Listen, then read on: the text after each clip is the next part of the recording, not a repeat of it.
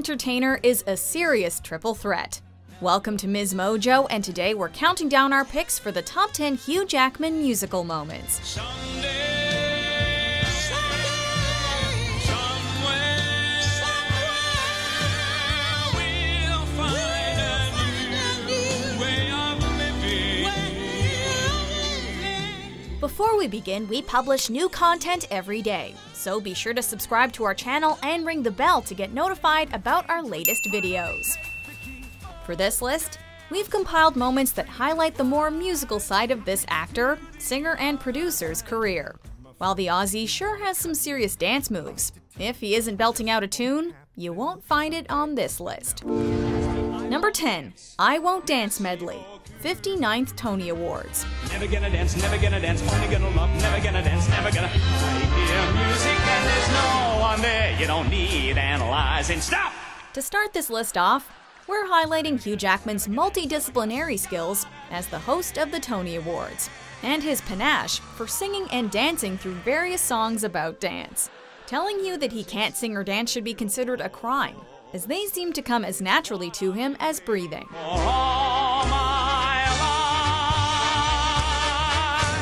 Also doesn't shy away from doing big physical movements and exaggerated expressions to engage with his audience. Oh no, no, no, no, no, no. Oh no. Shake, shake, shake. No, no, no.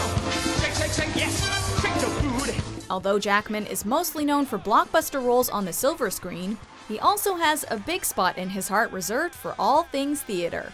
This passion shines through his act and contributed to his multiple returns as host for the Tony Awards.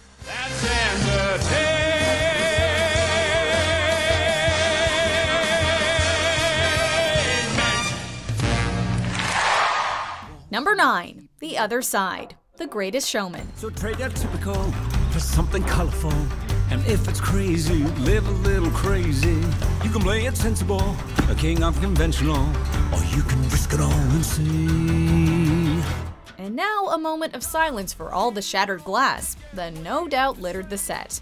Out of all the moments to choose from in The Greatest Showman, the song The Other Side stands out for its heavily intricate choreography between Hugh Jackman and Zac Efron. You can do like you do, or you can do like me.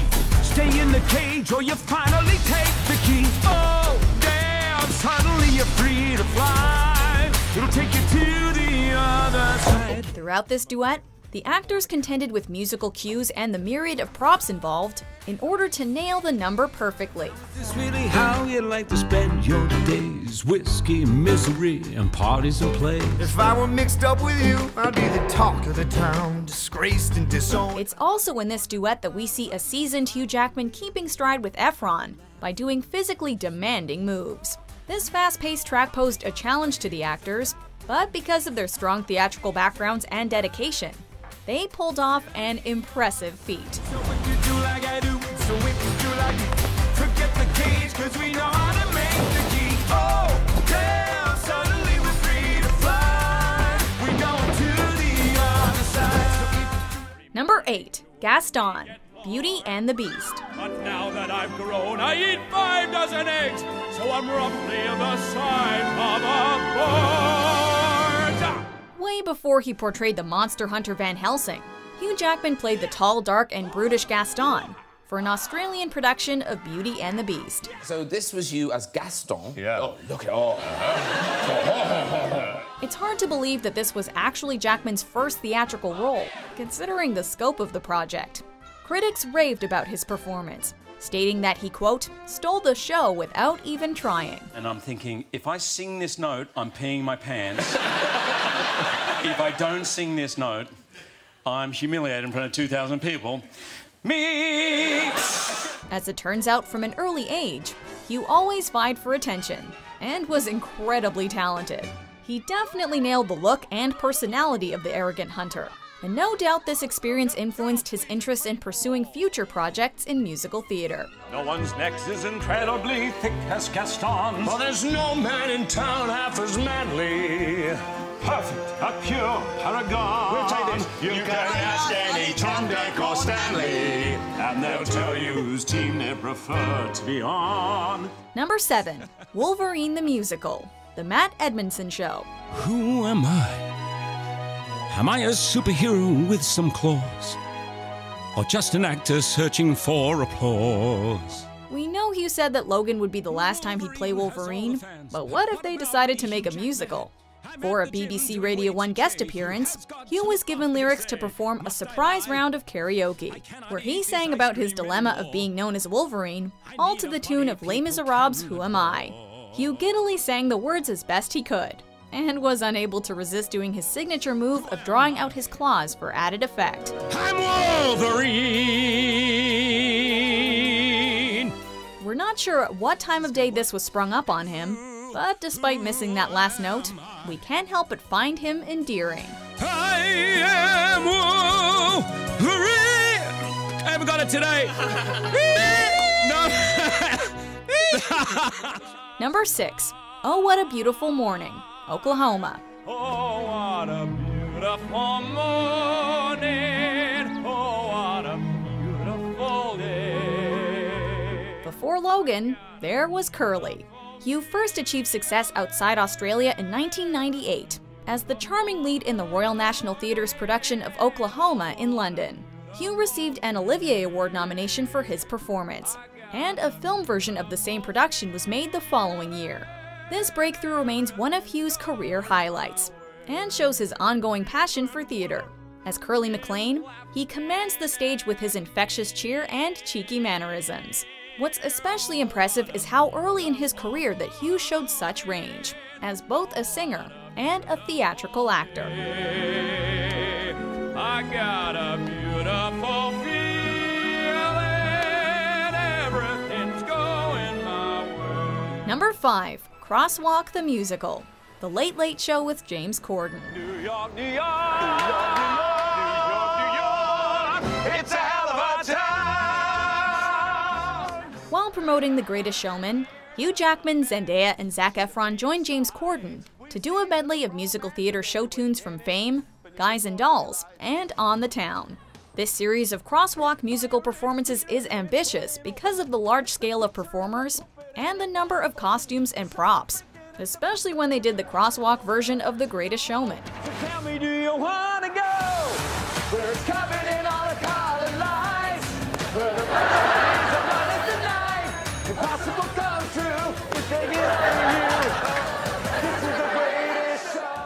castmates were absolute pros on the crosswalk, and even took cues from Corden to give certain lucky commuters a front row performance. Waiting at a traffic light sucks, but having Hugh Jackman dance on the hood of your car, not so bad. Number 4. Duet with Neil Patrick Harris, 65th Tony Awards. No, you can't. Yes, I can. No, you can't. Yes, I can. No, you can't. Yes, I can. Yes, I can. Anything you can do, you can do better. Well, not if Neil Patrick Harris has something to say about that. What starts as light ribbing on each other's accomplishments escalates into a song and dance number to see who prevails. Despite the fact that NPH tends to do more television, while Hugh features heavily in movies, it turns out that they both have a lot in common. For example, they're both naturals when it comes to hitting those notes, while also doing complex choreography.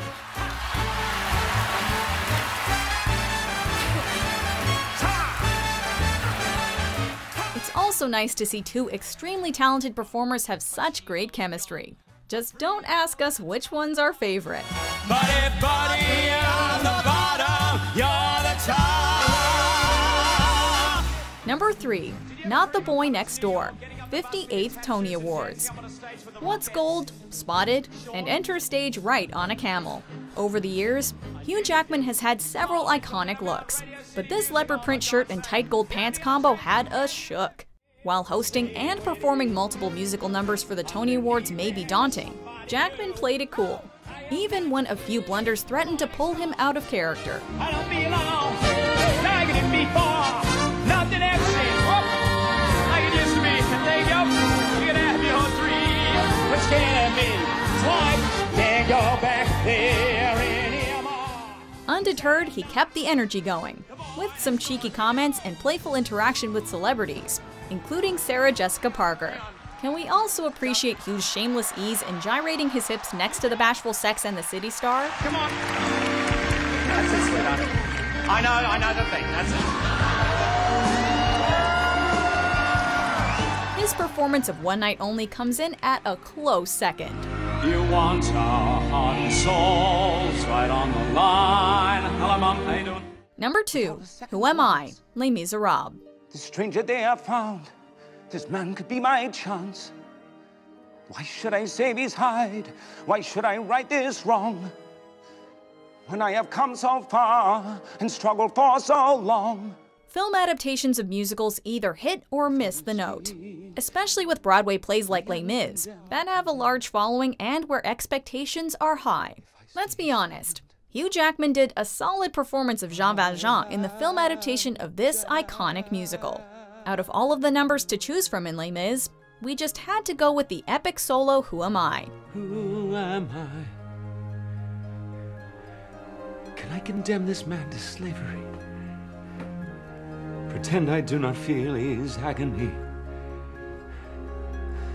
This innocent who bears my face, who goes to judgment in my place. Who am I? Sure, The Confrontation is another classic hit, but Jackman shines as the conflicted Valjean in this entry's pick. The emotional depth he brings to the silver screen version of Valjean is palpable, and we get chills when he belts out the final line. Who am I? Two, four, six. Before we unveil our number one pick, here are a few honorable mentions. To Atlantic City, if not Atlantic City. He's a music man, and he sells clarinets to the kids in the town with the big trombones and the rat-a-tat drums and the big brass bass, big brass bass. And the piccolo, the piccolo uniform too, with a shiny gold braid on the coat and a big red stripe. Before you say another word, Javert, before you chain me up like a slave again, listen to me. There is something I must do. Number one, From Now On, The Greatest Showman Behind the Scenes. This promise in me start like an anthem in my. Out of all of the moments captured, this one is the ultimate and most emotional musical moment ever because it wasn't planned. Just before a read through for The Greatest Showman, Jackman had surgery on his nose and was ordered not to sing. And Hugh really did try not to when he found himself before movie execs. But the last track from now on was impossible to resist.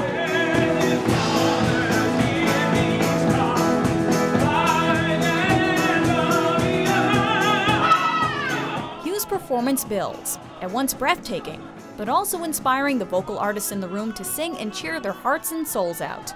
Fortunately, someone recorded this near spiritual experience for the internet to see.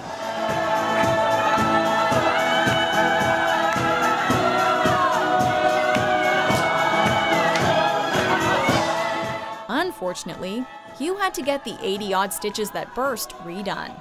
He wasn't the least bit sorry. Do you agree with our picks? Check out these other great clips from Ms. Mojo and be sure to subscribe and ring the bell to be notified about our latest videos.